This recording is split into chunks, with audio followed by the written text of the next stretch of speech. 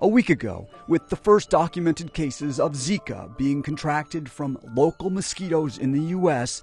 A small blood center headquartered in Miami called the United States Blood Bank brought its operations to a halt. Its eight mobile blood collection vans taken off the road, roughly 300 units of blood quarantined. It did so at the request of the Food and Drug Administration. The FDA recommended that all Miami Dade County and Broward County, Florida blood banks cease collecting blood immediately. The FDA has also ordered blood banks outside of Florida to not accept blood donations from anyone who's traveled to the Miami area for at least four weeks. Now, hoping to avoid a blood shortage in Miami, some larger blood banks have already implemented a new screening process using one of two unapproved lab tests on an investigational basis to detect Zika virus. OneBlood, which collects 3,000 blood donations daily in Florida, Georgia, Alabama, and South Carolina, is now screening all donations for Zika.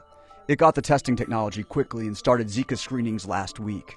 This test goes a long way uh, to, towards greatly preventing the likelihood of transmission of Zika through blood transfusion. Blood banks allowed to use these tests must submit the data to the FDA and obtain consent from donors to use the test on their blood.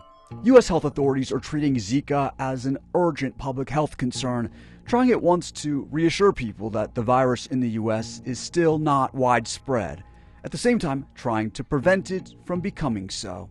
One problem only 20% of people who are infected with the Zika virus show any symptoms, but the asymptomatic can still transmit it, with blood donations being an obvious potential conduit. Blood donated in the U.S. is already tested for West Nile, HIV, hepatitis, and other infectious diseases. According to Blood Bank's CEO, the test for Zika will add around $8 to the cost of processing each unit of blood. The American Red Cross says that of the over 80,000 samples tested to date in the mainland U.S., not a single blood donation has tested positive for the virus.